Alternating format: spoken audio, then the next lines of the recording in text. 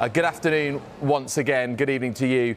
So the World Cup has, has barely started, but the controversy just keeps on coming. And now we have the image of the tournament so far. It is of the German team in their team photo ahead of kickoff, covering their mouths.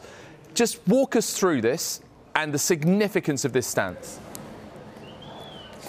Well, look, first of all, uh, I'd have to say I'm not sure it's the defining image uh, of this World Cup. It certainly is one of the most defining images of this World Cup. Uh, I think the Iranian players refusing to sing their national anthem, that is probably the most defining uh, image of the World Cup because there could be very, very serious repercussions uh, for those players when they return to Iran.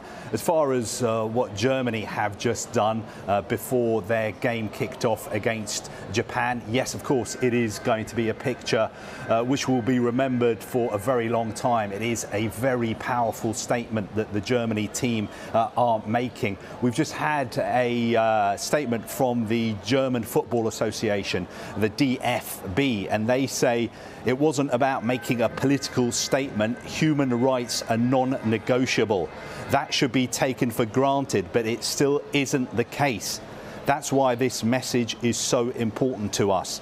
Denying us the armband is the same as denying us a voice. We stand by our position. So, a very powerful image, a very powerful statement from the Germany team as well. And then we saw the extraordinary pictures as well of the German Interior Minister, Nancy Faeser. Uh, now, she, of course, is at the game today, and actually, she was sitting next to Gianni Infantino and she was wearing that One Love armband, which has caused so much controversy. Look, as far as uh, a lot of people in Germany are concerned, they feel that this World Cup should not be held in Qatar and they also feel that the German team should not even be playing in this World Cup. There have been street demonstrations in Germany against this World Cup. We've seen uh, scores of banners at Bundesliga games uh, protesting against the World Cup being held in this country. Uh, lots of uh, bars and pubs uh, not showing uh, World Cup games in Germany as well and you've shown, we've seen the strength of feeling there is uh, in Germany against this World Cup from the players and also from the highest levels uh, of the German government. One other uh, update I'll give you that I think is significant as far as uh, German football is concerned.